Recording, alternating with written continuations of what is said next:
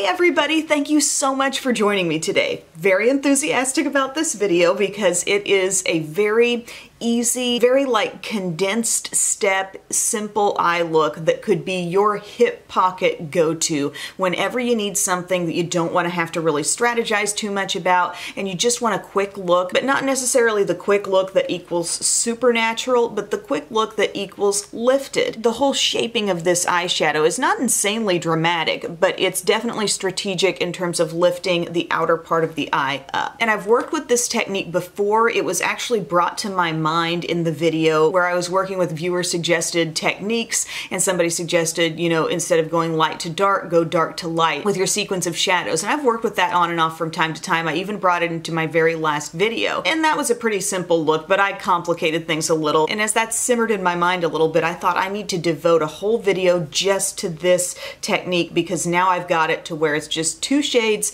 two brushes, just a few little easy steps. And as you see them carried out, you will understand why why this is different from normal eyeshadow application. There's much less chance for error and over application. And also the way we handle a dark shade being applied, there's not gonna be any fallout here either to worry about. And, and keep this in mind with this look.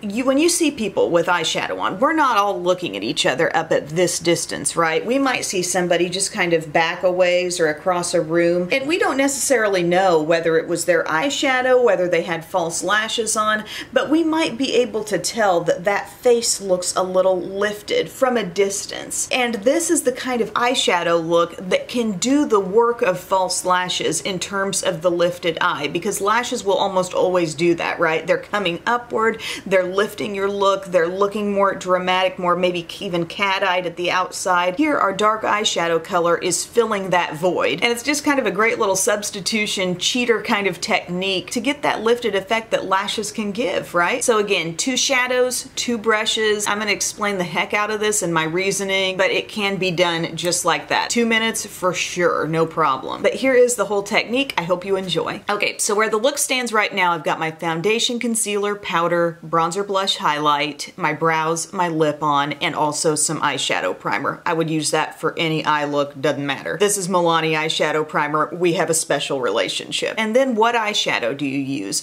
Honestly, anything would work. So long as one shade is at least a little bit darker than the other shade, you will have some contrast and you can work with anything. You can look in any palette and identify one deeper shade and one shade that's a little bit lighter or maybe a lot lighter, and you can definitely make this work. Start pulling out drugstore singles, old quads, palettes that used to confuse you, and just think about the light and dark, or at least even medium and dark if you prefer. If you can kind of just identify that difference in tone, you're gonna be set for this look. So today what I wanted to use was something that came in the mail just yesterday. I ordered some new Makeup Geek eyeshadows from the new rebrand and I'd actually, I'd been sent an email about receiving the PR, I think shortly after Rhett was born. So that was when I was in full on survival mode, so I missed that. Um, but I'm more than happy to support the brand with my own money and this is what I got. This is the nine color palette. As you can see, it's just like an open palette, but I, I spaced the shadows a little bit to make it aesthetically pleasing. But this is like the recommended set of shades shades for brown eyes and I was swatching them yesterday and they are so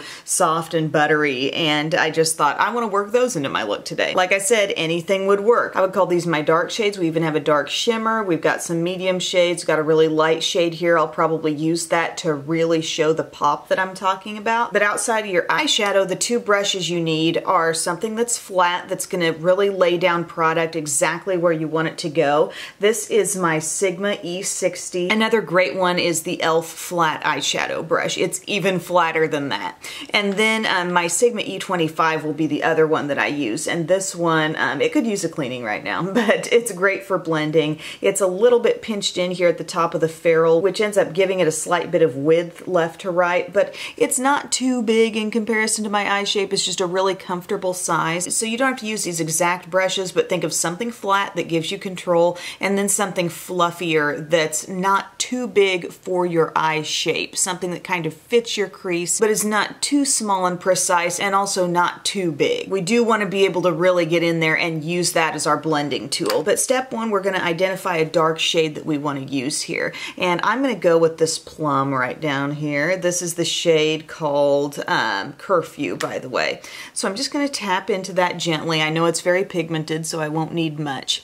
And I'm going to pat this on the outer part of my eyelid with this brush and I am going to really make sure that that shadow hits the crease because I think where the look is convincing and where it makes sense is that this shadow is radiating out from your crease. So if you've got kind of a heavy eye area where this part of your skin sort of droops down and covers your crease, I think you really still want to make the effort to get shadow into that crease, okay? And then um, I like to flip the brush over. So we were patting like this. I'm flipping it and letting the shadow come up here. And here's where you can really, um, depending on the amount of space between your eye and your eyebrow, you can make this as dramatic or as subtle as you want. I'm going to go somewhere in the middle for this look. And I'm going to pull that shadow upward slightly and kind of a little bit upward in the direction of the end of my eyebrow. That's kind of my guide.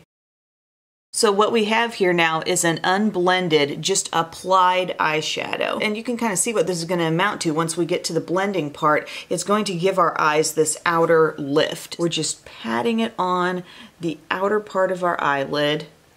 You could go as much as halfway in if you want to. I'm kind of uh, probably nearing halfway. We're patting, we're working it up into that crease and then flipping the brush to allow that shadow to come upward more. And the beautiful thing about a flat brush is that this is your control step. This is where you really, you know, anywhere that brush goes, that's where the shadow's going. There's no question about it. There's no like unusual movement.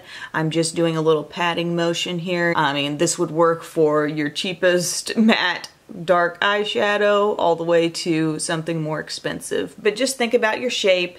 Use the end of your eyebrow as your guide. Try not to dip down lower, of course, than your eye. That's not going to give you a lift. And make sure that product really is getting wedged in the crease. Now we're going to switch to another brush and this is my E25 like I was explaining before. We're going to go right to that crease and as I blend I feel like the motion I'm taking is almost like a little bit of a small circular motion and we are not only going over what we applied but we're going to go inward too. And the interesting thing that's going to happen here is that some of that shadow that was put in that outer corner crease area is now going to gently work its way in. And it's not going to look too dark in here because that's not where it was initially applied. Where the shadow gets first put down, that's where it's going to stay the darkest. But you're able to travel with some of that inward. And it's not got the risk of me saying, okay, I'm going to go to my crease boop, let me go into this dark shade and just go to town. Then you run a little bit more of the risk of over application and things getting, you know, maybe not quite so nicely blended, especially if you're a beginner. We're tapping into what was already on our skin and we're just using this brush that I did not apply any shadow to and we're just going to it and circular motions, let it come inward as far as you want to go, let it come outward too. You're just sort of treating that brush as like a little buffer. And look at how beautifully blended we've got that now. And we can do the same thing over here. These are powder shadows, even on top of a primer. They're not completely immobile. You know, we are moving that color across the eye. We're working in, in a circular motion here and we're pulling it through the crease. And really good deeper mattes will show themselves off beautifully in this way because look at how that shade where it's more concentrated, you see more plum. As it sheers out, it takes on a little bit different look. I love to see that. And also don't neglect your edge where we did first kind of apply that, start stamping it upward. Make sure to go over that. If at this point you'd even like to bring in a fluffy bare brush that's even fluffier than this or just something that has zero product on it and you want to go over it, you can. I'm just trying to keep it extra simple and confined to just two brushes. But what we've got right now is one matte shadow, a beautiful blend. It's all above the eye and it's lifting up. And I've said it before when I've done a look like this, but I could practically stop here. This looks finished enough for me. It's almost as though a nude shadow is on my lid in contrast with this darker shade. But we're gonna give a light pop. I'm dying to use this shade here. This is the color called Daydreamer. So I'm gonna dab into that with my flat brush, going back to the flat brush, and we're just gonna pat this on. Oh, that's really pretty patting it on the open area where nothing else was. And I would say concentrate your first, your initial like dab on here more toward the inside. So as your brush gets less and less on it, it can more seamlessly merge over the top of um, the matte shadow. So starting kind of right in here, dab, dab, dab. And guys, it's really just that easy. Like obviously there are many different additional steps one could take. You could take, you know, mid-tones and continue to buff over the crease. You could put in a couple of light shades instead of just one. You could smoke it out and go completely under the eye. But for the simplest lifted eye, this is what I'm talking about. You've used a dark shade that's coming upward from the eye like this. You've taken the time to get it fully blended out and then give yourself this pop on the lid. And that, keep in mind, could range anywhere from being a real pop to just really any shade in here. Honestly, you could go with this color and keep it closer to the plum and not go as light and bright. Also, do your thing with eyeliner, mascara, lashes, whatever you want to do. I'm simply going to finish this look by curling my lashes and applying my superhero mascara and I'll be right back. So the mascara is on. That's kind of the simplest way to accessorize this look, but really a false lash would definitely add to the lifted look. A winged out liner that's really pulled up. And if you want to go below the eye with anything, by all means, you know, shadow mascara, but it does drag the eye